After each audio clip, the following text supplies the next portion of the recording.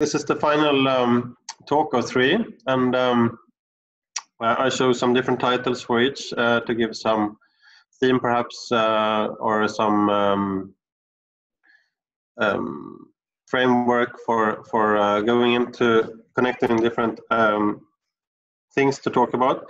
And uh, today, I chose the title uh, "Evokes Many Levels of Meaning and Combinations of Focus," which is part of the uh, beginning of the of complexity and contradiction in architecture by Venturi. And I think what we'll be talking about today is uh, a little bit different than the first two. Uh, the format is the same. Um, I'm gonna um, share my screen soon and, and go into images of buildings I posted on my Instagram. Uh, it's uh, it's buildings I've visited in the last two years and images I've taken with the phone. Um,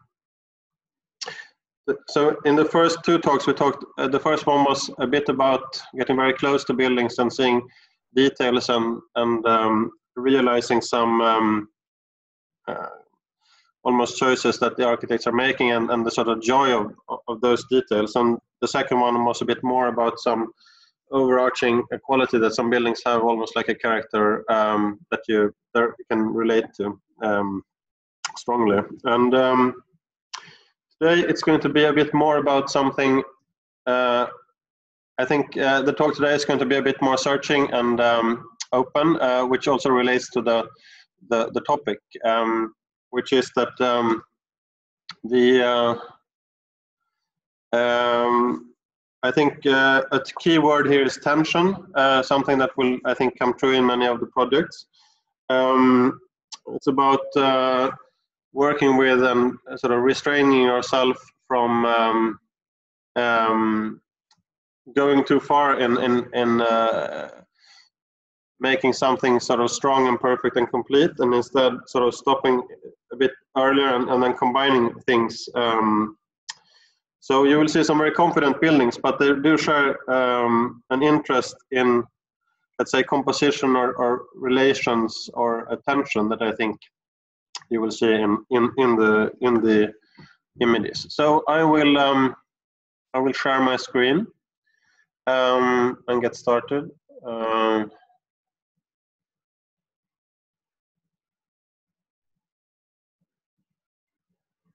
so I think we see my screen now. So I think a little bit like last time, I, what I will actually do is that I will start with a bit of a prologue or a detour of a sense uh, that actually isn't, or actually is, let's say, the the partner, the background uh, to a lot of the things that I think we'll see in the other buildings. And so the first building is is is from Stockholm. It is um, quite remarkable building. It's a kind of um, corner location, a bit like the famous uh, Gridiron in uh, in New York. So, and and this is a building by Erik Lallerstedt. Uh, it was built for an insurance company on a prime spot.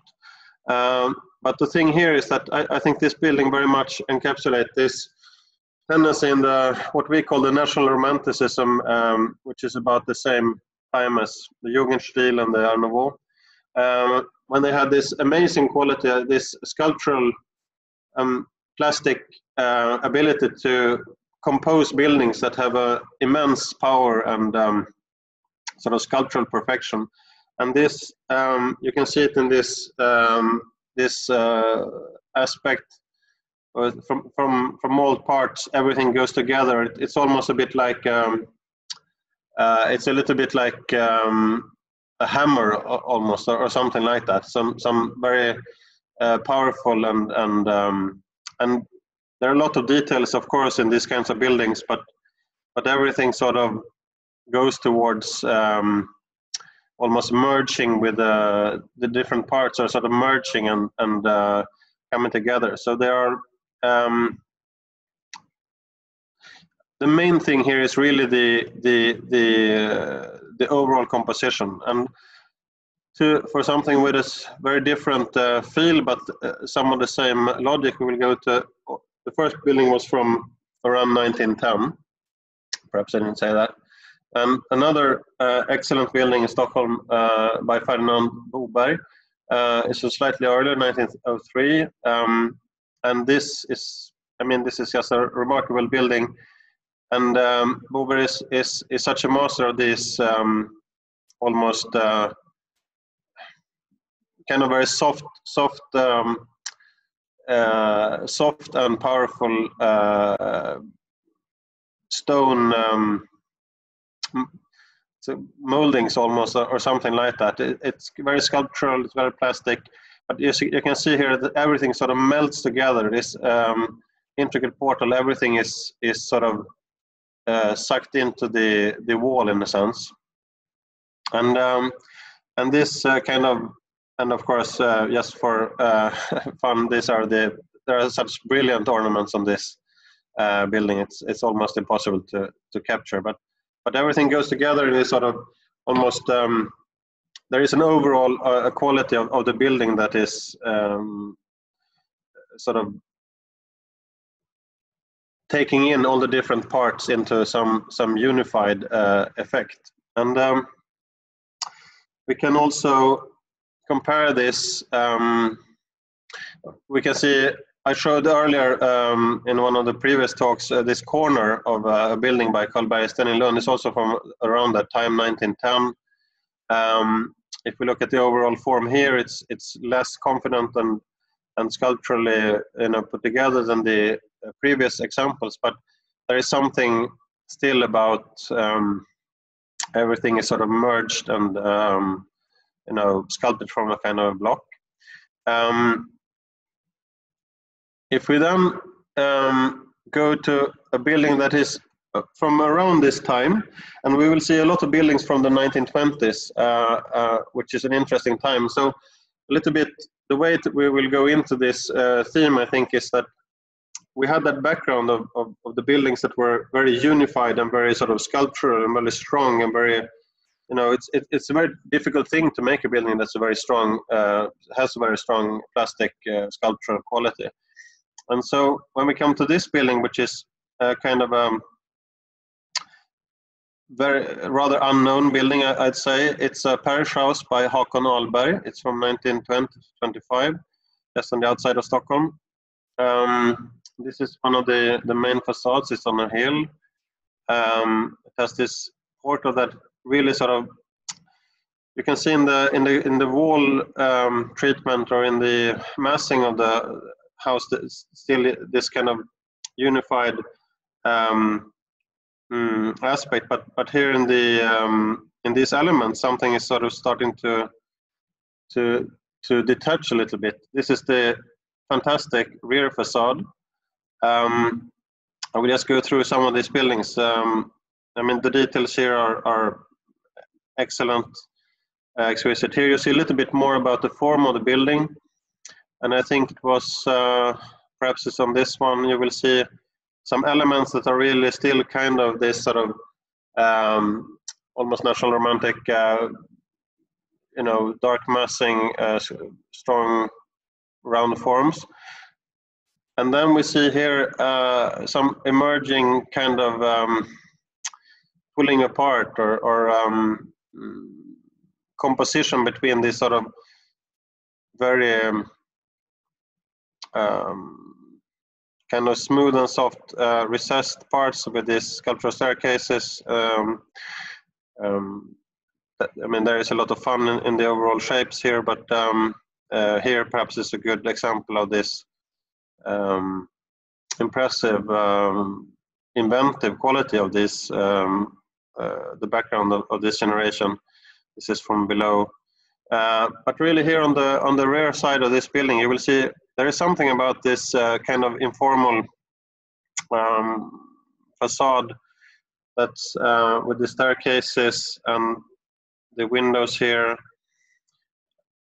that um, this is an interesting element as well. This kind of a screen like um, double column um, small balustrade thing almost like a sort of added fragment um, so, in some sense, I think um, the thing we are we're seeing here, a little, this is a kind of an in-between building in a sense. Perhaps it has a lot of the, you know, skills and sensibilities of the previous buildings, but it's also starting to to um, to loosen up that a little bit. And I think we will.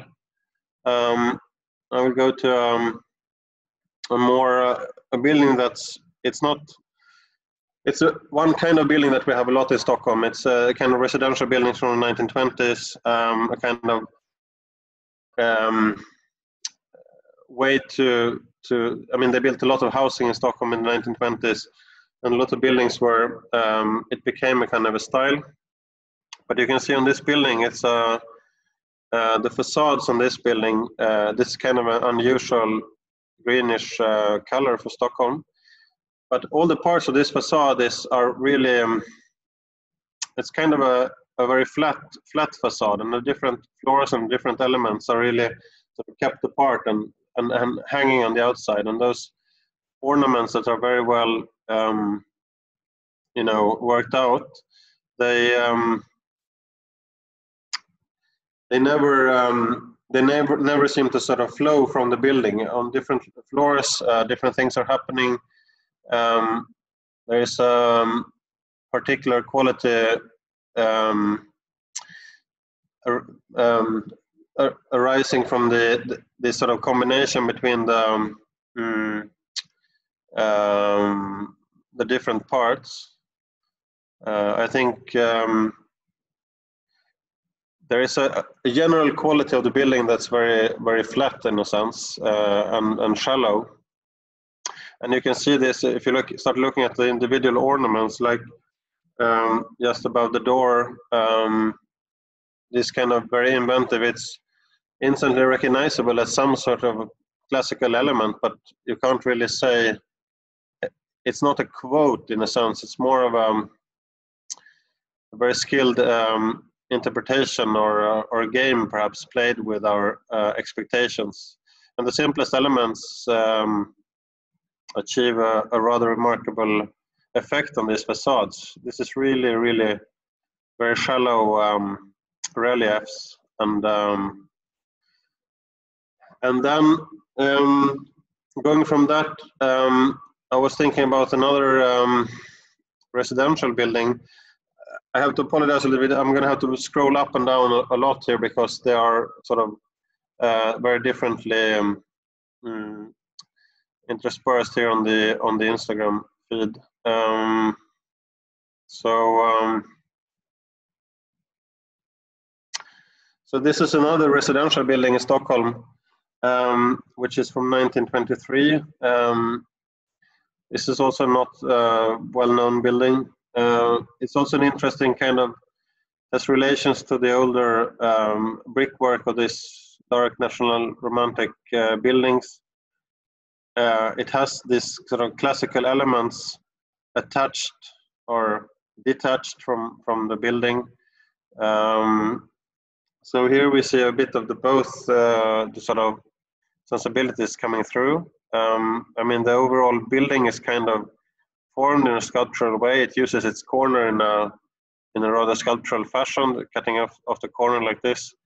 Um, but if we start to look at the um, the details on the, especially at the lower uh, level of this building, the very peculiar, uh, almost, um, I don't know even what to call this, very strange, uh, all the columns, they lack um, uh, and they, they have a, a very peculiar um, some kind of capital and pagoda-like uh, cornices. We see some of these um, going into more detail. Uh, there is, um, you can almost compare it in this image like this, um, the lower part is, everything is sort of pulled apart and can be visible in, a, in its uh, particular uh, elemental quality. And on the upper part here, you can see still how the bricks are forming this. Um, mm, you can still feel like the heaviness of the of the brick wall in a sense in the surrounds of the windows. Um, and um, um, I think we'll see a, few more of this effect here. It was a great time for invention, this uh, the 1920s in Stockholm. All these sort of classical elements that we see here are almost always sort of, I don't know if you would say non-canonical or Uh, I mean, they are. It's always um, a rather elegant play and between recognition and, uh, and free invention. And I think that invention is, is part of that legacy from the uh, earlier generation. But um, the distance from that generation is uh, in that restraint from from uh, from from achieving that uh, perfect sort of overall uh, coherent uh, form and that effect. And um, I think what we'll do is that we will jump a little bit here from from Stockholm uh, in the 1920s uh, and see some comparisons to to Milan.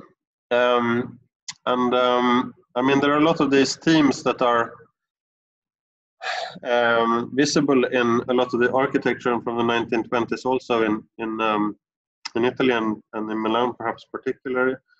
Um, and I think what we we can uh, we can look at the uh, famous um, uh, the famous and this is of course one of the great you know urban uh, sculptures in a sense. Uh, I mean this has the the full plastic brilliance and, and power of that uh, the first building I showed, of course, but but achieved in this very sort of cold and uh, precise and kind of shallow um, surface treatment that really brings such uh, immense attention to the, the facade and the combination to that overall shape. Um, uh, this building is, uh, I mean, it has a complex sort of uh, perimeter. Um, there are some elements that are uh, supremely sculptural and sort of freestanding, and there is a, there is an element of that um, you will see in some other aspect of these uh, Milanese uh, buildings that are great contrast to the ones in Stockholm, where uh, the, the, classical elements being used have a greater, um, you know, a kind of um, if, if you want to make a, a, a, comparison, it's very often the case that in, in, in Stockholm, for instance, or in, in the 1920s classicism, you have a more sort of flat and, and, and uh, very uh, shallow relief. And in the Milan's examples, you, you, see many times a kind of more um, full-bodied um, elemental quality in the in the sculptural fragments. But this is, of course, a very I mean, this is a refined uh, facade, and there are so many um, relation between the different parts here that are that are being made. But uh, I think we will compare this, um, um, and you will see here, of course, the it's a great game of, this sort of extreme um, precise reliefs and those uh, amazing columns. Um, it's a, of course a remarkable thing, and I can't help but to think that, of course, here you have a kind of a um, a richness of material as well. I mean, if you go around Milan, you have such a a range of stones and uh, material uh, richness in, or richness in the materials themselves. So that's of course a, a part of the repertoire here. Um, I think if we look at a building from around this time uh, by um, and uh, Emilio Lancia uh, from 1928, um, um, the Ca' Brutta is from around 1920, a little later. Um, this is a building that's kind of reminds you uh, or reminds me of um, uh, some of these buildings we have in Stockholm, but there is a uh, sorry about that. Uh, there is um, a slightly more um, I don't know kind of uh, I mean, rich in the almost literal sense that these uh, ornaments, the uh, how how many ornaments, the, the use of them, the there is a greater. Um, this is from the courtyard. Uh, there are on, on, so many levels these slightly manneristic uh, uh, elements come together in a dramatic way. Um, even so, they are interestingly abstracted and and and related. So they never um, they don't give the appearance of being uh, um, they don't give the appearance of being uh, this. Uh, I guess uh, another kind of background to this is, is the kind of Beaux-Arts um, almost systematic uh, solution of, of things where you would have the uh, perfect um, you know solutions for everything uh, available. And here you can feel like there is a strangeness to the overall composition of these elements coming together uh, which i think um, uh, is the result of a very refined process. I mean there are uh, it's interesting then you see this very tiny little um, it's such a contrast, I think, between this uh, slight uh, passageway or entrance for cars, perhaps, or something like that, which has the, almost a very ancient uh, feeling, completely different from that other uh, great game on the facades. Um, also, in, in, the interior, it's a immensely rich uh, environment. I mean, the it's almost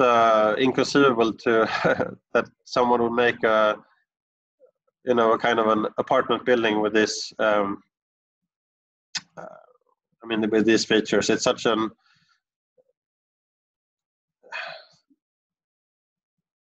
perfectly balanced overall. Every part of it uh, comes together in such a perfect way. I mean on the interior here uh, this great stairwell um, and the individual elements. And uh, if we go back to the quote on many levels of meanings and combinations of focus, I mean, there is a there is a confident certainty or, or capability of knowing exactly what kind of a ornament to use uh, on all the different levels. Um, it's also a striking, strikingly inventive uh, overall quality it's not at all something you would sort of recognize or uh, it's sort of without references, but it's the individual part have have great um, you know historical and uh, evocative um, uh, re resonance. Um, I mean, these um, interiors are it's almost um, a bit little bit difficult to relate to the the richness of this. Uh, I mean, this is a kind of a a playful and uh, um, I don't know. It's not a rational mind, but it's a a very you know a confident hand putting all this these things together. But it's such a um, layered richness, I, I, guess, is, is is something that that you wouldn't you would almost expect it to be much um, uh, older. So it's a, a kind of a, a, game being played there, I think, as well. Uh, some other interesting buildings from this time, I think, um, which are very close to the famous uh, to the famous Villa Necchi by Portaluppi. Uh, very close to this one, there are three buildings by Aldo Andreani, that's our uh, just in neighbors neighborhood um, or neighboring buildings. Um, this is a fascinating building. It's very difficult to photograph, and the, the light was kind of difficult this day. But um, you will see here. This is from uh, 1924 to 1927. Um, I think you will see here a, a kind of quality in the the way the classical details are used here, they are more, I mean, they are more um, expressive, they're more full, um, they have a greater plastic uh, depth and intensity and power, but it's still something about the overall composition, the, the play of contrast is smooth and, and, and, and rough and uh, the, the pulling apart or the sort of hanging quality of different uh, parts of the elements that are um, just um, wonderfully, um, you know, brilliant. So instead of having a kind of a, uh, I mean, you do have a sort of you have a recognition at the at the same time you have a a bit of a distance, always being uh, kind of nicely calibrated. But I mean, this is such a this is a, a much more brilliant and and and and um, this is a little bit like uh, they're using more the, the, the possible register to to um, on the different facades. All, all, all, these are some elements that are also a little bit sort of flowing from the wall, but also uh, kind of distinct and, uh, and and free free hanging in a sense. Um, there is also this. Um, um, it's called a villa, but it's kind of an apartment block. Uh, very close to it, you will see some uh, some details here that are almost um, added or free hanging, and I don't know. There is some. Uh, you can see, you can feel that there is a kind of uh, interest in uh, relating to these elements and manipulating them and, and combining them in extreme, exceptionally free and inventive com compositions. Of course, you know, classicism is a kind of a, a very um, nimble style in a sense, or, or, nimble language that is has been used and, and um, been sort of uh, developed or, or um, adapted to, to many new functions uh, over time. So there are, I mean, there are many uh, ways it has it has had this um, evolution. That's almost part of the the syntax. Um, but I think what what combines the the first examples with with this one is a little bit, if you compare it to the Swedish ones, it's there is something a little bit more. Um, th these are going a little bit more towards a, a kind of a uh, perhaps it's more mannerist, but it's uh, a kind of unif unified character um, still, and and perhaps it's something about the uh, the depth of the you know knowledge of the classical language in in Italy as relates to the uh, by necessity peripheral uh, distanced view of the Nordic classicists, but um, but there is some kind of relation there, and I think. Um, so as not to jump too much between the cities, I will I will relate these uh, sort of detached uh, elements, uh, kinds of buildings, with uh, some uh, buildings from that relate to this, uh, or, or, from a generation after, you might say, from the 1950s, um, where you can see a similar relation, I think, to the Swedish example, but perhaps uh, the times uh, the time is a little different. So what we see here in the some a, a few buildings by Luigi Caccia Dominioni from the 1950s, you will see uh, a kind of a, a quality that we recognize from these um, Milanese 1950s uh, uh, uh, buildings. Um, these are, you know, kind of uh, buildings that are not sculpturally, uh, you know, they're not formed to be uh, prismatic blocks or or um, powerful structures in that sense. They have a kind of assembled quality, but every detail is very very precise, and you will recognize a lot of sort of classical uh, elements here uh, transposed, but at the same time, I think, I mean, these sort of shallow uh, walls and this extremely flat stone stone base. a very interesting detail are these sort of half rusticated corner where it goes around, which relates to both to the um, the balcony situation and also the the this um, um, the circle of the building. Uh, but there is a, this is a little bit like in relation to the very muscular and powerful plastic qualities of the classical aspects of the 1920s Milanese architecture, we can see here a kind of abstraction perhaps, while at the same time um, there are these sort of compositional uh, elements that I think uh, relates quite strongly. Another building by Caccia Dominioni from uh, the late 50s um, is a kind of a more complex urban setting. Uh, it's a very interesting uh, building um, on a tight road next to a church and then facing a kind of a courtyard-like backside. Um, also here we see this great, uh, this is almost harking back to the first talk uh, about these sort of almost individual stones.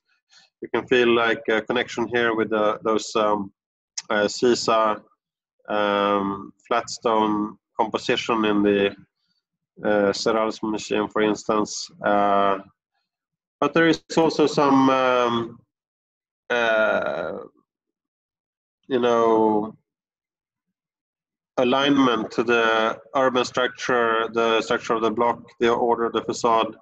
Um, at the same time, resisting the perhaps uh, too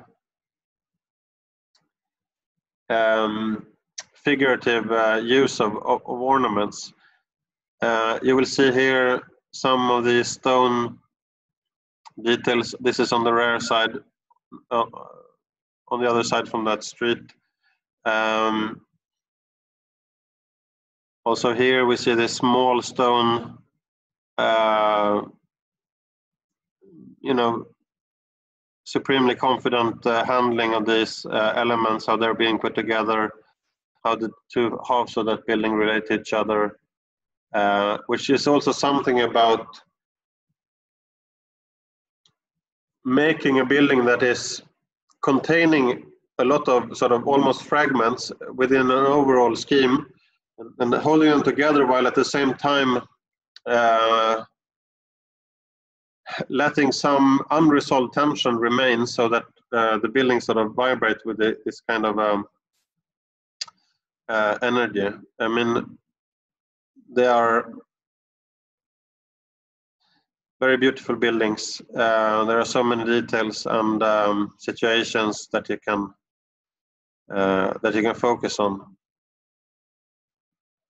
Um, on the last uh, building by uh, Caccia Dominioni um, that I will show here is uh, uh, uh, very nice and kind of um, more perhaps explicitly open-end building.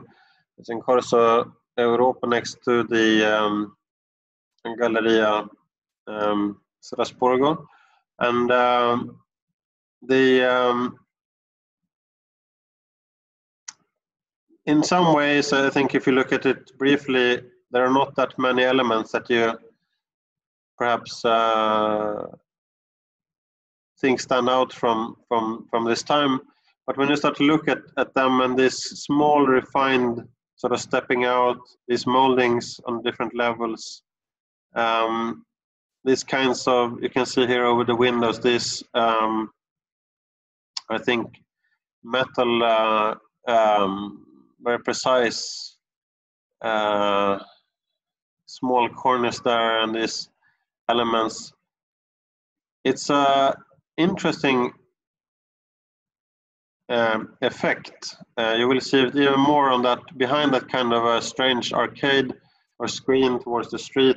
You can see this um, condensed and almost convoluted um, situation where these different shapes they come together. It's almost impossible to uh, detect uh, uh, some sort of uh, obvious um, order to the building. But you will see all these uh, amazing elements coming together. I mean there are these details here that are um, reminiscent of some uh, similar effects being used by Peter Märkli, for instance, nowadays. But otherwise, this is a kind of I think there is a, a kind of richness here that is um, it's a little bit like uh, you're almost uh, um, it's almost like you're not you can easily miss a, a building like this this is the, the, great complexity in a building like this sort of just passing it by and sort of writing it off as something, let's say, from that time. But I, I do think there is a exceptional um, mm, you know strangeness and richness in this in this building.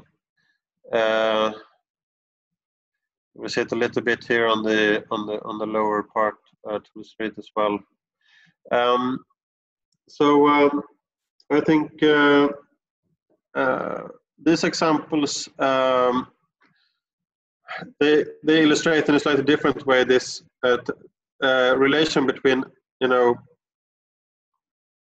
going along with the kind of uh, sculptural and plastic uh, capability that you have perhaps as an architect or almost sculptor in a sense uh, and then another one that is very conscious of that potential but is sort of resisting the uh, to to let it go so to say um, all the way um, I thought before I go back to to uh, uh, Sweden, I think I will just make a quick um, stop in uh, in London, and uh, this is a, around the same time.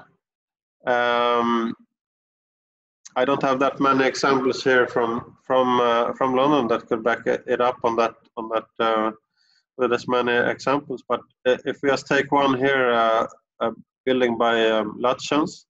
Uh, it's a bank. Um, the dates, as I understood them, were from the from 1924 to 39. But the this is a interesting um, contrast to the other ones. This is a more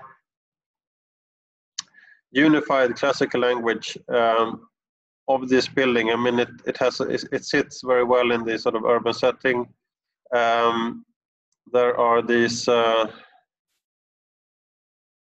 um, you know, if you, I think everywhere you look on this building, uh, you will find that there are um, a lot of inventions and you know plastic and sculptural qualities that are sort of almost hidden inside this. Um, there's an overall uh, harmony to the the overall shape that that you have, almost have to, to start look at the, the more particular uh, elements here uh, to start seeing the um, how it all has sort of been put together. And one of the one of the, the greatest games in, in this building is that um, on the lower level you, you have this kind of uh, uh arched uh, uh, pedestal in a sense or, or circle and um, if you if you go a little closer and you start to look at these um, uh, these elements, there are these. Um, there is a great game being played of these sort of hidden pilasters um, everywhere on this building. Uh, you can see perhaps best here. You see this uh, recessed um, entrance, and then on the side, so the continuation here in the pilaster, but it's sort of the shaft sort of disappears here, uh, and um, and is uh, achieved in, inside the or melded into the kind of rustication in a sense. And this is an interesting effect because here you see like the lower part of that. Uh, here is a, the upper part, and then it sort of get lost in the wall, and then you find it at the lower part. These are almost like stumps or fragments sort of just hanging there or standing there, and you have the other ones sort of hanging there. And this is an interesting um, example, I think, of uh, you, you, find them here again. Uh, these are great. Uh, well, this is sort of a promise of something that that that is then consciously sort of um, kept away a little bit, uh, and uh, I think this is an interesting. I mean, this is a little bit like if you compare that to the uh, Ferdinand Boberg post office, where everything is sort of meld, melding into the uh, these sort of soft shapes of, of, the building, this is a other kind of. I don't know if it is a camouflage or misdirection the use of these uh, rustication joints, but uh, it's such a it's such a witty and, and rich uh, play with these uh, elements. So when you start to look at them, it's uh, well, you can find it sort of everywhere, and and then at the same time, uh, as we saw in the first image, um, it's such a underplayed character in the in the in the overall composition. So I do find that there is a, uh, a similarity there, perhaps of of knowing uh, that some effects are perhaps best uh, achieved by holding back a little bit on, on how to sort of express them or how to to fine tune them. And then I think we will uh, we will go back to Sweden and uh, and uh, we will touch on a building that we uh, talked about, I think, in the first first talk, which is, of course, one of the most famous buildings uh, nowadays, uh, the Resurrection Chapel by Lewerentz. So just touching on that very quickly, I think we can see a little bit that there is something about this building um, in in its overall um, perfection perhaps or, or some brilliant handling of, of all the different parts here that are um, it's possible to read all the different or a lot of different um, elements sort of almost freestanding but this is this is such a sort of consciously perfect i mean while you know manneristically uh, drawn out and so on but but being put together, this is a building that, in one sense, sort of goes towards that uh, unified aspect of uh, of those sort of previous buildings, while at the same time, um, you know, very brilliantly changing our perception of it with with some, uh, uh you know, manneristic kind of uh, devices and so on. And so this is from um, 1921 to 25. Um, and if we go with Lewerentz to the uh, down to Malmö, to the Eastern Cemetery in Malmö, which is um, you know it's it's it's that cemetery that is perhaps uh, well known for many through this um, incredible late work of Lewerentz, the, the famous flower kiosk. But in reality, Lewerentz worked on this cemetery for a, a very long time. Uh, I don't know, 40, 40 50 years. Um, and one of the earlier ones uh, that he built, uh, earlier parts, is not that different in time from, from the Resurrection Chapel. It's from 1923 to 26. This um, funerary chapel sort of uh, pushed into the, the ridge or a kind of a long hill running along an axis. And um, this is a very powerful building, and I think there is something about this building uh, that has um, um, so I think the general dynamic of what I'm sort of uh, talking a little bit about today doesn't necessarily fit neatly into you know this decade against that decade, and so it can be within the work of one architect, be within the work of a of, of a um, of a city or um, you know different um, perhaps um, any kind of uh, I mean I, I, don't know the division between a commercial uh, apartment building or a sort of a ritualistic or, or um, religious uh, edifice perhaps also meant there were some different sensibilities there. But this building is um, I mean this building isn't really um, doesn't use those devices of of of, of uh, dislocation and and um, you know pulling things together. This very much goes into kind of very very peculiar and, and a bit strange, uh, but a very powerful unified composition. Um, just next to it is a more of a a, tiny little thing, you might say. This, of course, rem reminds a little bit about that funerary chapel by, uh, or grave that we saw by Asplund um, in the previous talk. Uh, this is just a waiting room uh, by Lewerentz from the early 1920s. But then something interesting happens here uh, in the uh, mid 30s, early 40s, where uh, the the development of this graveyard is a, um, a very long and, and, and complicated history. But at some point, um, the central uh, figure of the era becomes two a, a kind of peculiar uh, composition of two twin chapels um, that are almost uh, totally similar but standing ne next to each other, St. Knut and St.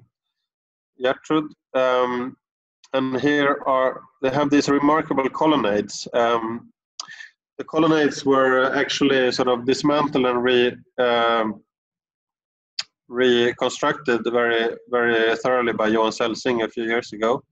Um, so they are in a, in a perfect, kind of perfect condition. But if you look at if you look at something like this and thinking of the, you know, um, the kind of uh, going back and forth between these sort of unified uh, qualities of, of some buildings and the buildings that, that sort of consciously uh, maintain a kind of tension between different parts. I, I, think here Lewerentz has gone from his, you know, brilliant um, phase of, of, of, handling that classical language, such as in the Resurrection Chapel and the uh, Funerary Chapel, uh, to such uh, powerful effect. Uh, and here it's it's very much a kind of um, a very different search for relation between different parts. So um, towards the um, the side that you enter, which is on the, the sort of main axis going through the cemetery, you have this uh, very peculiar uh, colonnades. I mean, they do have a sort of rich, evocative uh, reading as, as some kind of you know colonnade arcade. Um, there is something um, difficult to say, pre, pre pre classical perhaps almost in them if you go on the inside, uh, a lot of the um, the spaces and the rooms are, on the other hand, kind of, well, I guess they go a bit more towards that unified uh, character in a sense. You have this the brickwork. Um, you have this sort of great space. It's a very um, non kind of hierarchical way. There is a, a, little bit like in the Resurrection Chapel, the, the organ um, stand is, is kind of hidden away, so it's uh, very much uh, just a, a, volume. There are some particular elements here, and you can see here in this great uh, window with this peculiar stone edge uh, going around, where you can still perhaps even here dropping down a little bit. There are these uh, figural um, you can perhaps see here the individual uh, bricks uh, sort of flowing into that stone uh, surround that figure. Um, so I think here you feel you can feel like Lewerentz has been um, in a sense, Lewerentz sort of started out knowing these um, great, powerful sculpt- sculptural buildings, uh, and then at the same time, he also went through this um, experience of that uh, great phase of the 20s classicism, where everything was sort of, you know, almost pulled apart and put together, so you can you can know the individual elements as well. And and here he really sort of um, manages to go into some some kind of synthesis or, or, or unified aspect. Uh, there are a lot of individual elements. These uh, famous uh, railings um, that are, you know, you can sort of pick them apart. Um, it's an infinite kind of richness in in individual details, but I think um, yes, I, I, think there is a great uh, search for um, a kind of um, lack of uh, you know obvious reading both on the overall scale and on the individual parts. And I think that is uh, so I think these are very mature works by by Lewerentz uh, and very similar works. I mean I don't have any images now from from his later churches um, but I do think there are themes uh, in those churches that, that, that tie into these um, the things we see here and which sort of go back to that old um, uh, so then I will quickly um, just um, say a few words about two more buildings and then I think we will open up for some discussions. Um, one interesting building uh, a little later from uh, the early 70s by Hakon Ahlberg, which was one of the first uh, architects we saw then, uh, who was sort of uh, making that parish house a little bit on the edge between the national romanticism and kind of emergent uh, classicist aspect. Um, this um, interesting kind of uh, pristine uh, forms of these uh, prismatic volumes coming together. And then on the inside, there is an exceptionally rich um, uh, and kind of mysterious room that isn't at all like uh, a lot of these dark brick churches that we are accustomed to seeing from this time. Um, I think this is um, very much uh, kind of a, you know resistance to to going too far uh, in either direction in a sense. So there there are these elements that um, that you know obviously connect back to the sort of rosary windows, uh, the, the, um, the columns, nades, and, and the sort of almost Gothic uh, uh side things here. Um, and the materials are kind of kind of soft, uh, and you have the vaults, um, and the lighting is is rather peculiar. So I think on on in relation to um, a lot of the buildings that were going on at this time, I think this building is is also one that could go into this category because it uses a lot of the elements that we see from this kind of roofless buildings from this time um, but it it retains some uh, some elegance or some some uh, restraint there. And then the very last building, I'm I think I'm running a little bit over time, but I think the very last uh, building I wanted to to end on is um, I don't think it's very well known, and this is one of the most fun and um, excellent and complex buildings I think we have in Sweden that is probably almost completely unknown. Um, this is also a church um, on the outside of Stockholm. It's called the Vårby Gård Church by Harald Thafvelin from uh, late 60s, uh, mid 70s. Uh, that's the process. And um, this um, it's it's a, the, the, first image we're seeing of this building is a kind of a, has a kind of de deconstructed um, feeling of this sort of, sort of hanging um, water um, collectors uh, around this sort of side chapel on the inside, you will realize when you enter the church. But there is, uh, I think it's almost even, there are even more uh, strange things. This is the overall shape of the church, this great overhanging um, peculiar roof, uh, these sort of white walls, and then you have these slanted uh, roofs uh, over some um, built out forms or side chapels. Um, we will see on the back side, and there is this sort of great um, rusticated base. Um, so on the on the back side, which is towards uh, kind of a, a, slight mountain or, or slope, uh, there is this. This is like the great, uh, or this is the sort of entrance situation. So there's an interesting composition here of of uh, some strange uh, doubleness or, or mimesis of, of some kind. Um, this uh, portal that you enter through has a strange um, earthy kind of quality, but the main part of the building is really this kind of white uh, brick that's very very precise in relation to these joints and um, all the different parts. Uh, and this is a kind of um, I think there is something about on on the exterior of this building. There are these uh, um, the way that the elements are both you know forming a kind of um, overall wall and then stopping at some points going to the corner going to the joint or not going to the joint um, that is very consciously play, playing with this sort of is it a unified uh, volume or is it in or is it something that's sort of knitted together or, or something like that? So i think there is um, interesting uh, game going on there. And then when we come to the um, interior of this building this is really one of the well first of all um, the building has two parts. The white white volume is the church and then there is this um, red brick uh, parish house that, that is connected.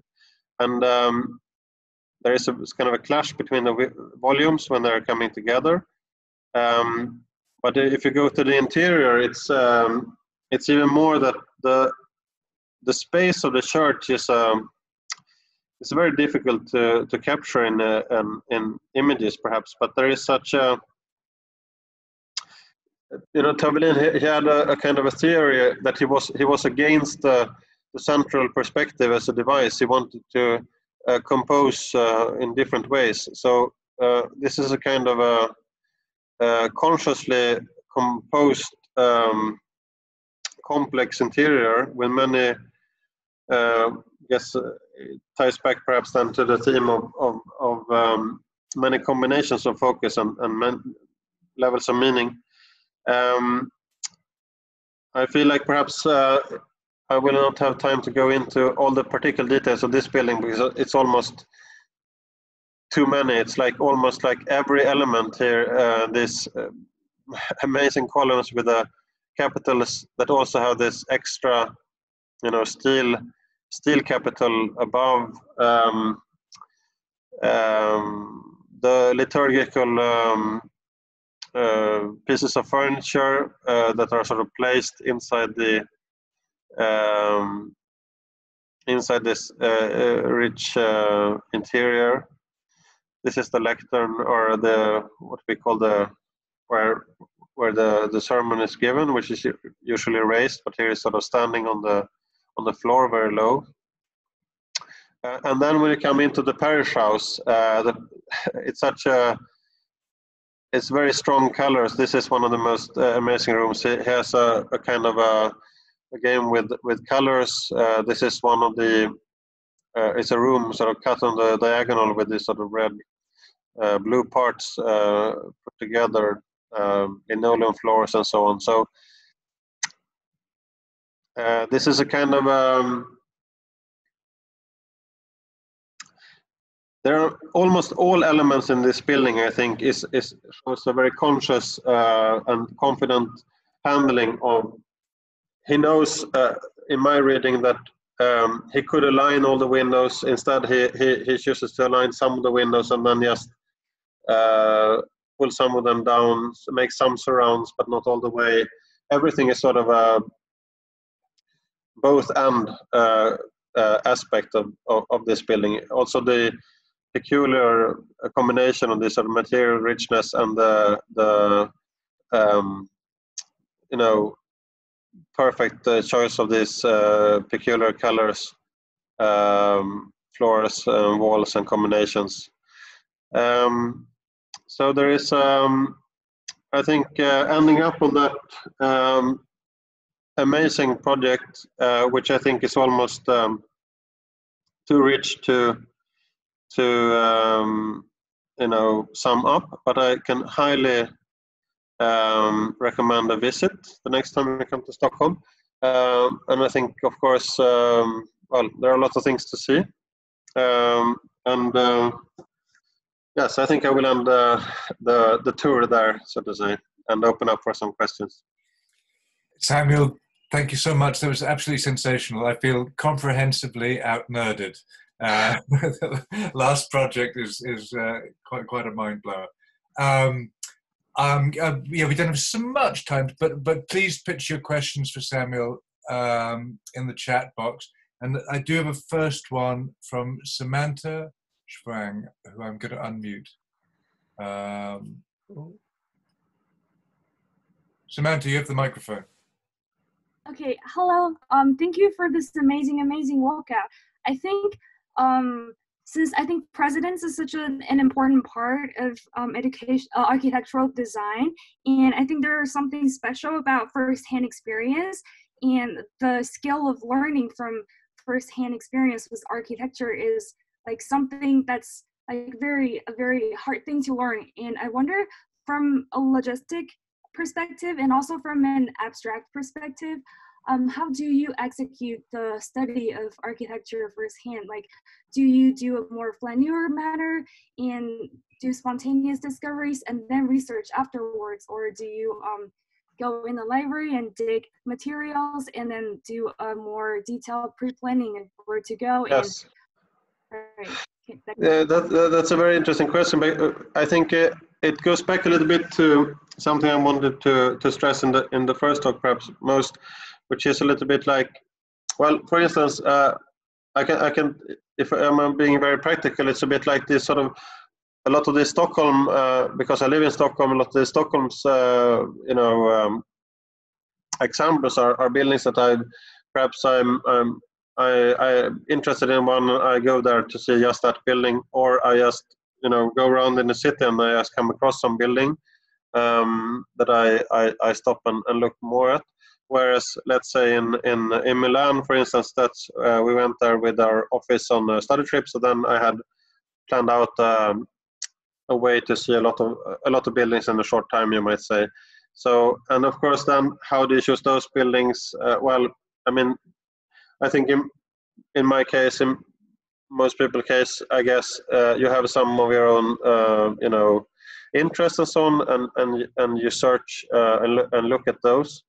Uh, but I also think there is, um, by looking at them and and reflecting on them, I do think that you're also sort of training your eye and uh, opening up for the possibility you will simply come across some buildings that you relate to or as you find intriguing and so on, and then I think uh, a lot of these buildings are uh, that are have been shown now and also are on the this sort of Instagram feed are also buildings that are you know uh, discoveries. And and then of course I, I think it's interesting to also do uh, at least a bit of research and knowing the year and architect and, and such. But um, I, I find it most important in this project perhaps to um, to not make it too uh, you know um, deterministic in, in how the research is made and so on. So you keep it sort of open. Uh, so opening up the different readings. So I think a combination of the, of the two, the things you said, and I think uh, everyone should you know uh, work with um, the possibilities they have. If if if uh, looking at the local buildings is, I mean, that's a very rich field anywhere, I think, uh, and then also combining that, that with uh, special trips, perhaps. Um, next question, I think probably, uh, yeah, we've got Milena um, Metalkova. Uh, Milena, you've got the microphone. Uh, thank you very much for this amazing trip. Um, especially at the beginning when I was looking at uh, all those fantastic buildings, I was thinking about how you can define them and uh, something like proto postmodernist sensibility. Um, I wonder what Charles Jencks would call them. yes. How you mean... do you see any relationship between postmodernism who developed much later but maybe the postmodernism took over some of those uh, sensibilities?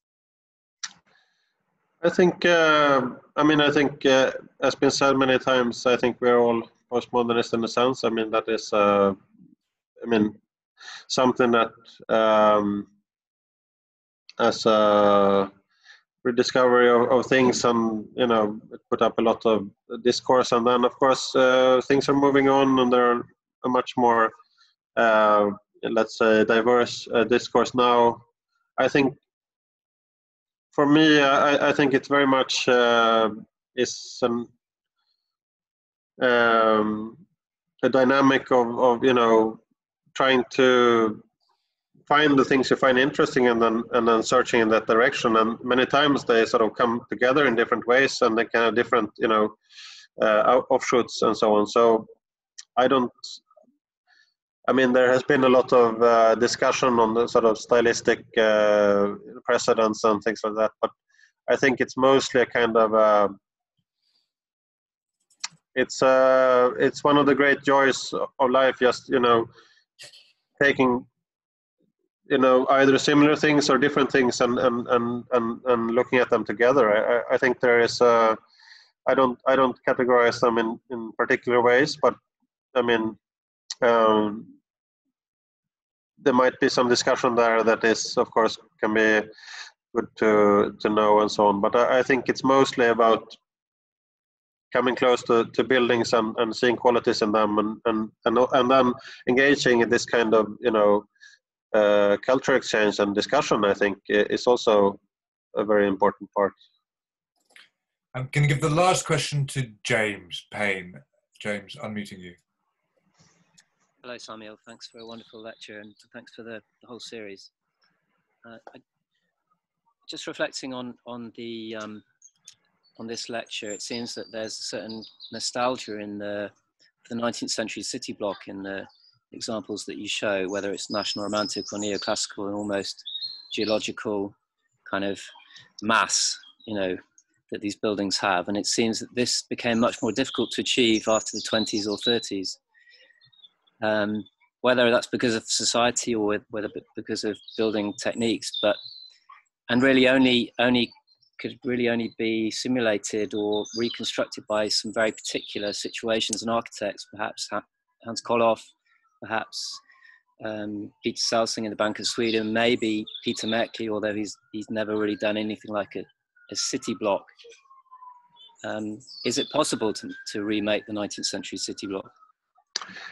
Um, I mean, there are, I think, let's say, I mean, most of the times we find ourselves uh, nowadays are this kind of in between diffuse uh, situations without any kind of context or, or you know qualities that we can relate to in many ways. And of course uh, it's very rare to have something you know approaching that that context. And if, if you take the context away i, I think the, that all all kind of city block uh, becomes um, I mean, it's sort of depending on that kind of context. I mean, I, I was actually thinking of of, of uh, ending up um, on the um, you know the uh, a very large uh, Peter Märkli building by, let's call it Im Gut. It's a very long uh, block, white block, uh, with an exceptional um, courtyard um, colonnade. Uh, I mean, that there is something about that building that, I mean, it, it, it is a kind of a linear block in a sense, but, but I mean, it, it's almost so large that, that it has a kind of um, a quality of some of those blocks that are, you know, very big blocks, uh, urban situation like that.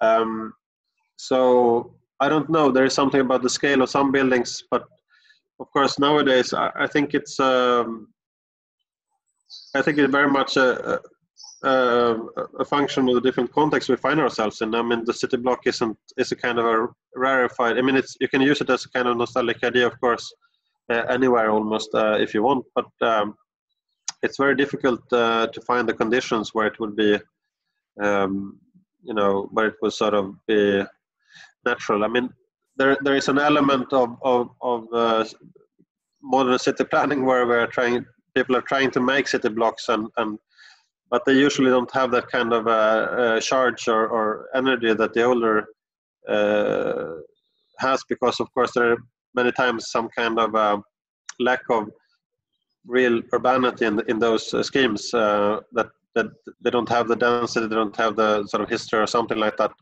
Um, so, in a formal sense, I don't think it's impossible, you know, task. But I think the conditions to are kind of rare um, to find nowadays.